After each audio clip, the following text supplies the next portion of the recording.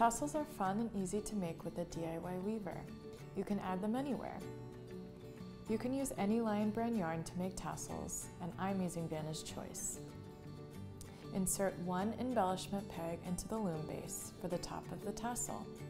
The next embellishment peg will mark the center tie of your tassel. The last peg will determine the length of your tassel.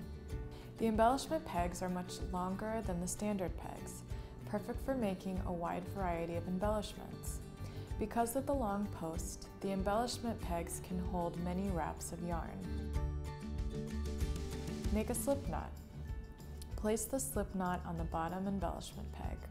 Start to wrap around the top embellishment peg and continue around. Don't worry about the middle peg, that's just a marker. When you're wrapping for your tassel, make sure not to pull too tightly around the pegs. The amount of wraps determines the fullness of your tassel. You can use one or more strands at a time. When you're happy with your wraps, cut your yarn and tie a slip knot around the bottom peg.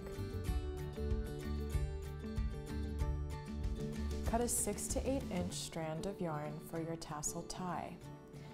Slip the strands through the center of the wraps at the top peg and double knot.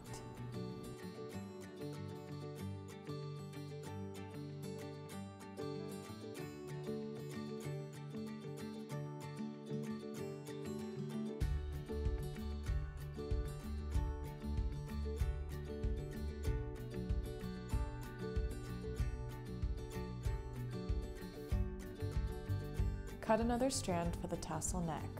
Tie this strand around all of the strands at the middle peg.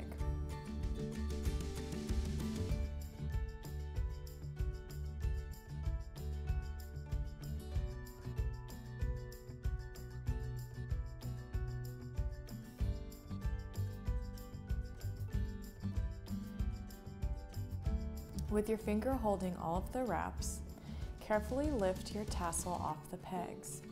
Cut the loops from your finger.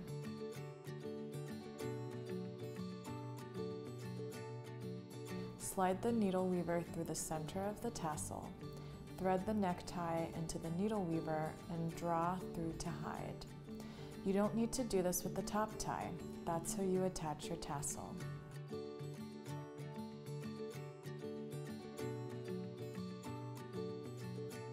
Trim your yarn ends. And remember to go to lionbrand.com for more weaving instructions and design ideas.